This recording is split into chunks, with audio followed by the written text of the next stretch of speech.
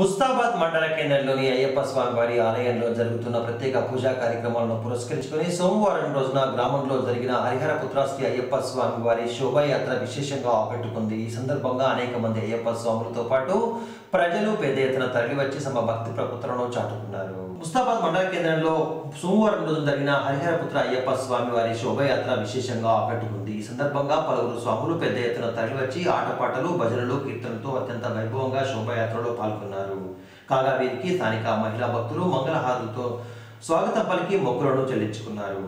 ముస్తాబాద్ మండల కేంద్రంలో ఉన్న హరిహరపుత్ర అయ్యప్ప స్వామి దేవస్థాన వ్యవస్థాపకులు రాజు గురుస్వామి నేతృత్వంలో మహా పడిపూజ కార్యక్రమాన్ని సోమవారం రోజున నిర్వహించున్నారు దీనిలో భాగంగా గణపతి హోమం పూర్ణావతి అయ్యప్ప స్వామివారి అష్టాభిషేకం అభిషేకాలు అయ్యప్ప స్వామివారి దర్శనార్థం ముస్తాబాద్ పురవిధుల గుండా ఊరేగింపు నిర్వహించారు.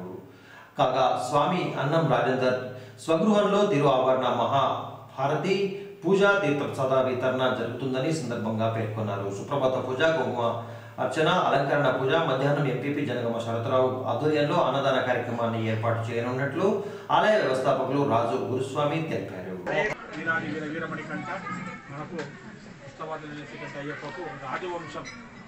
ఇది రాజవంశపు అయ్యా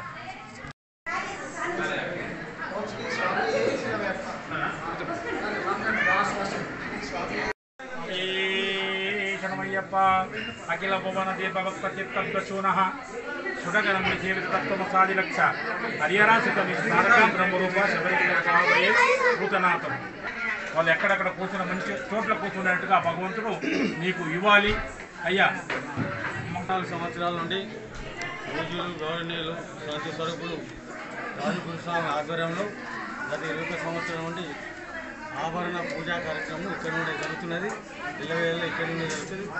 అదే అయ్యప్ప ఆశీస్సులు రాజగురుస్వామి ఆశీస్సులు ఉంటే ఇళ్ళవేళ అన్ని విధాల స్వామి గారికి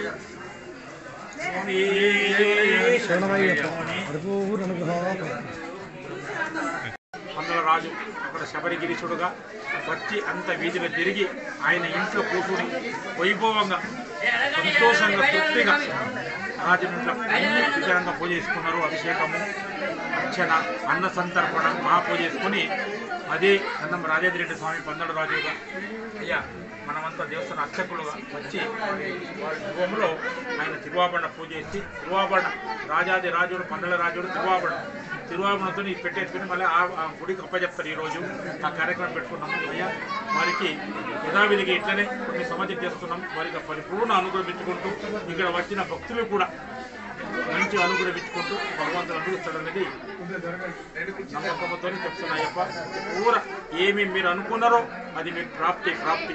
పరిపూర్ణ అనుగ్రహ ప్రాప్తి వస్తుంది స్వామి మళ్ళీ విశేషంగా మండల పూజ ఈ రోజు తిరువాభరణ తీసుకొని స్వామి మాకు అప్పచెప్తున్నారు. మీ మండల పూజ నాడే తిరువాభరణ చేసుకుని జ్యోతి చేస్తానేమో ఇక్కడ విశేషం అదే. మండల పూజ రేపు స్వామి తిరువాభరణ ధరించుకుంటాడు రేపు విశేష మండల పూజ. ఇద్దరు గురుస్వాములు గురు పూజ ఉంది. సాయంత్రం ఆరున్నరకే మహాపడి పూజ. మధ్యాహ్నం అన్న సంతర్పణము పొద్దున అష్టాభిషేకము గణపతి హోమము అష్టాభిషేకము అన్న సంతర్పణ. రాత్రి విశేష మహాపడి పూజ జరుగుతుంది. ప్రతి ఒక్క భక్తులు వచ్చి స్వామి ఆశీర్వదించుకోవాలని ప్రార్థిస్తున్న స్వామి.